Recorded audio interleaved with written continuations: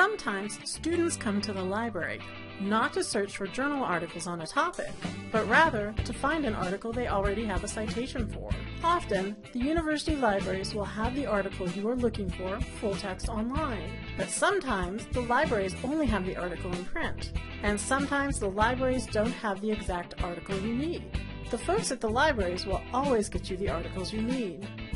To find articles in the method demonstrated today, five pieces of information about the article are most important.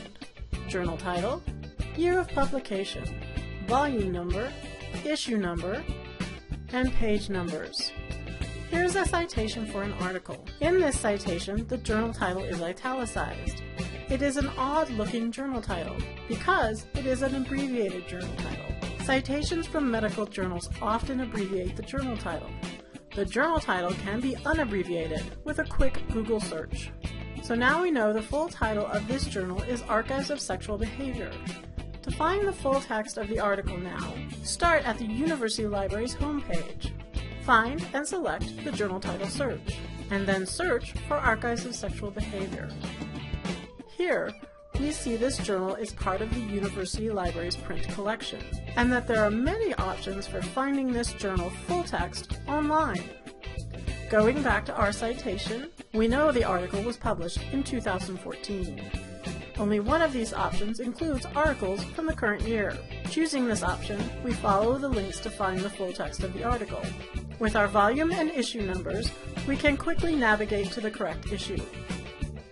The articles are listed in order of page number, so scanning this column, we find the correct article and access the full text.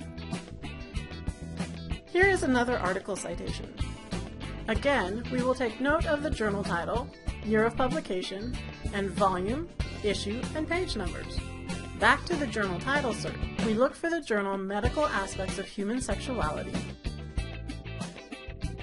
and find that the University Libraries only has this journal as part of its print collection from 1969 to 1992. Since the article needed is from 1971, we know the University Libraries has the article in print.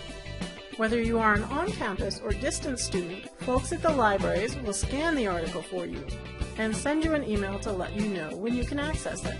To let the people at the libraries know that you want the article, open up a new tab and go back to the library's homepage.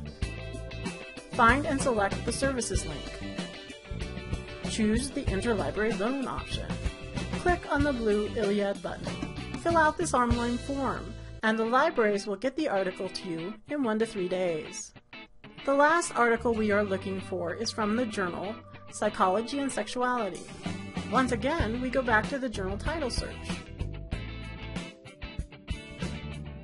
This time we find no matches. Once I am sure the libraries do not have this journal, I'll go back to the online ILLiad form and request this article.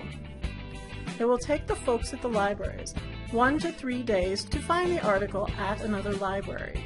Have the article scanned and sent, and then you'll be notified by email that you can download the requested article.